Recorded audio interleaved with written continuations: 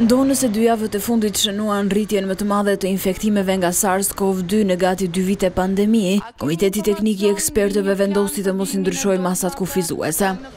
Autoritetet shëndetësore pohuan se ka një qarkullim të lartë të varianteve Omicron dhe Delta.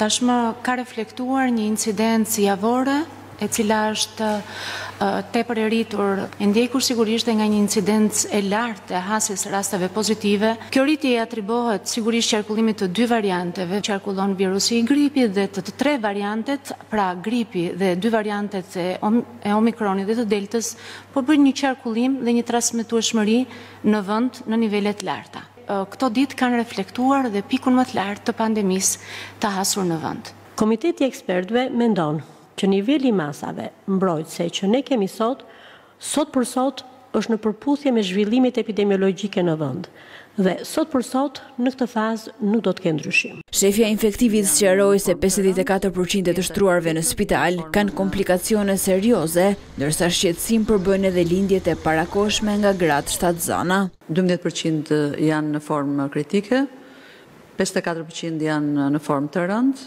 pjesa tjetër janë në formën e mesme të rëndë. Janë mosha të reja të shtruara në spital, që janë të gjithë të pavaksinuar, gratë gravide, të cilat një pjesë e tyre janë shtruar në spitale, kanë ecur mirë si ecuri shëndetësore, por ajo që është ndërhyrë nga ana mjekësore, Të gjitha të shtruarat kanë bërë lindje të parakohshme, pra të nxitur nga ana mjekësore, për shkakun e gravitetit që jep Covid nëntëmbëdhjetë.